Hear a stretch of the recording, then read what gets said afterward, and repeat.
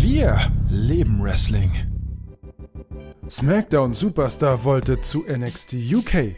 Während eines Interviews mit BT Sport gab Finn Balor bekannt, dass er im Vorfeld seines Wechsels von NXT zu SmackDown die Idee vorgeschlagen habe, stattdessen zu NXT UK zu wechseln.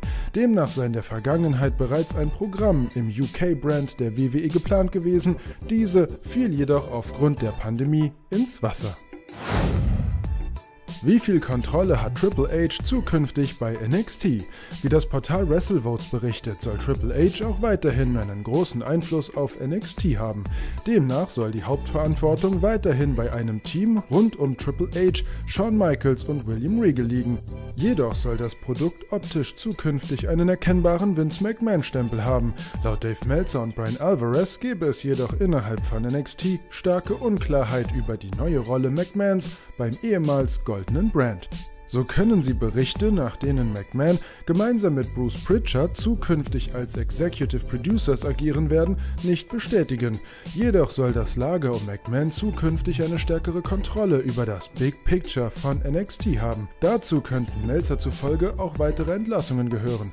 Demnach sollen aktuell mehrere Namen diskutiert werden, zu denen besonders die Wrestler gehören sollen, die schon seit einer längeren Zeit bei NXT sind. Daphne Unger verstorben.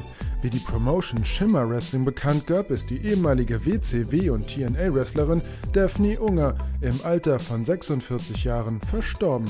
Bereits kurz vor ihrem Tod sorgte Unger für große Sorgen bei einigen ihrer Fans, nachdem sie während eines Livestreams Andeutungen machte, Suizid begehen zu wollen.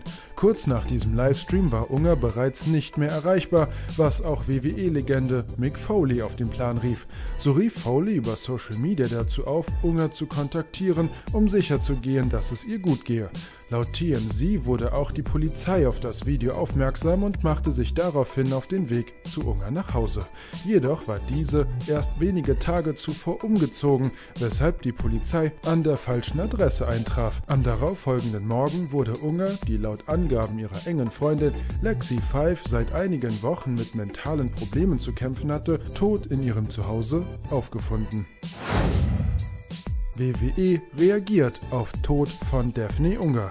Übereinstimmenden Medienberichten zufolge hat die WWE als Reaktion auf den tragischen Todesfall von Daphne Unger eine Rundmail an alle Wrestler verschickt, in der die Promotion diesen ihre Hilfe anbot, sollten sie mit mentalen Problemen zu tun haben. Teil dieser E-Mail soll auch die Telefonnummer einer Hilfestelle gewesen sein. Daraufhin meldete sich NXT-Wrestler Jake Atlas über Twitter zu Wort und gab bekannt, dass die WWE sechs Monate seiner Therapie bezahlt und damit sein Leben gerettet habe. Atlas verband diesen Hinweis mit dem Appell daran, sich Hilfe zu suchen, sollte man mit derartigen Problemen zu kämpfen haben.